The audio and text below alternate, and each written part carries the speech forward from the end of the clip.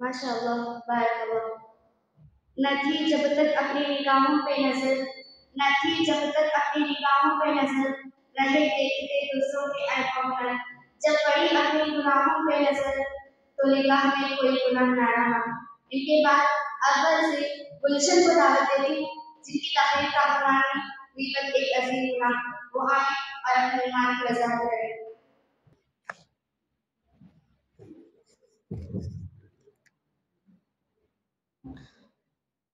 السلام علیکم ورحمۃ اللہ وبرکاتہ۔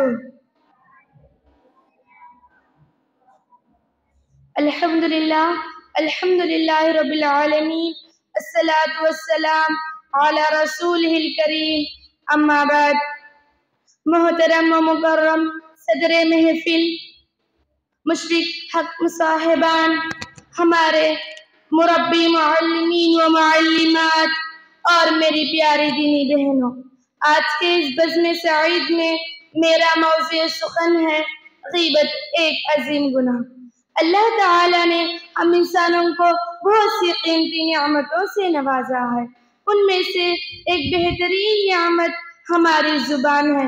زبان ہی وہ چیز ہے جس کا صحیح استعمال دخول جنت اور اس کا غلط استعمال دخول جہنم کا سبب ہے۔ معزز سامعین و سامیات آج ہمارے معاشرے میں غیبت کی یہ بیماری بہت عام ہو گئی ہے۔ تو آئیے جانتے ہیں کہ غیبت کسے کہتے ہیں۔ غیبت کہتے ہیں کسی کی برائی اس کے عدم موجودگی میں بیان کرنا، جسے ہر کوئی ناپسند کرتا ہے، جبکہ اسلام نے اس حرام فعل کے ارتکاب سے سخت منع فرمایا ہے۔ جیسا کہ سورة الحجرات میں رب العالمین کا فرمان ہے، وَلَا يَغْتَبْ بَعْضُكُمْ بَعْضًا أَيُحِبُّ أَحَدُكُمْ أَن يَأْكُلَ لَحْمَ أَخِيهِ مَيْتًا فَكَرِهْتُمُوهُ۔ تم میں سے کوئی کسی کی غیبت نہ کرے۔ کیا تم میں سے کوئی اس بات کو پسند کرے گا کہ وہ اپنے مردار بھائی کا گوشت کھائے؟ نہیں، ہرگز نہیں۔ تم کو اس سے گھن آئے گی۔ معزز سامعین و سامیات اس کے باوجود بھی آج ہمارے سماج میں یہ بیماری بڑی تیزی کے ساتھ پھیل رہی ہے، جس کی وجہ سے آپسی اختلافات جنم لے رہے ہیں۔ جو لوگ مسلمانوں پر ظلم و غیبت کر کے ان کی عزت اچھالتے ہیں اور ان کی جان و مال کو نقصان پہنچاتے ہیں اور ان کی عزت پر حملہ کرتے ہیں، تو ایسے لوگوں کو معلوم ہونا چاہیے کہ شریعت نے غیبت کو ایک سنگین جرم قرار دیا ہے۔ معزز سامعین و سامیات، کیا آپ جاننا چاہیں گے کہ قیامت کے دن غیبت کرنے والوں کا کیا انجام ہوگا؟ تو سنیے، نبی کریم صلی اللہ علیہ وسلم نے فرمایا، جب میں معراج کو گیا تو جہنم کے مناظر میں سے ایک دردناک منظر بھی دیکھا۔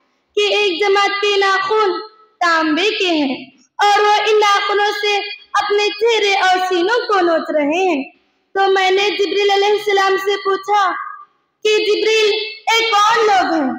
تو جبریل علیہ السلام نے جواب دیا ہاں، هؤلاء الذين يأكلون لحوم الناس ويقعون في أعراضهم رواه احمد یعنی یہ وہ لوگ ہیں جو لوگوں کا گوشت کھاتے تھے اور ان کی عزت اچھالتے تھے اور غیبت میں ہم وقت مصروف رہتے تھے۔ کسی شاعر نے کیا ہی خوب کہا، نہ تھی جب تک اپنی نگاہوں پہ نظر، نہ تھی جب تک اپنی نگاہوں پہ نظر، رہے دیکھتے دوسروں کے عیب و ہنر۔ جب پڑی اپنی گناہوں پہ نظر، تو نگاہ میں کوئی برا نہ رہا۔ معزز سامعین و سامیات آج ہمیں اس غیبت جیسے عظیم گناہ سے بچنے کی سخت ضرورت ہے۔